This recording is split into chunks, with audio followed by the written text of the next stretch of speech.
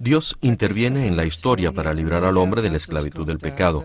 Lo ha dicho Benedicto XVI hablando a los fieles antes de la oración mariana del Ángelus en este primer domingo de la cuaresma. Contra el plan de salvación de Dios para todos los hombres, el diablo se ha opuesto con todas las fuerzas, como dice el Evangelio narrando las tentaciones de Jesús. Pero entrar en el tiempo litúrgico de la cuaresma, lo ha señalado el Papa, significa enfrentar cada vez el pecado con Cristo y afrontar de manera individual o como iglesia el combate espiritual contra el espíritu del mal. Benedicto XVI también ha orado por las víctimas del sismo en Japón y ha recordado que esta semana la curia romana se recoge en meditación por los ejercicios espirituales.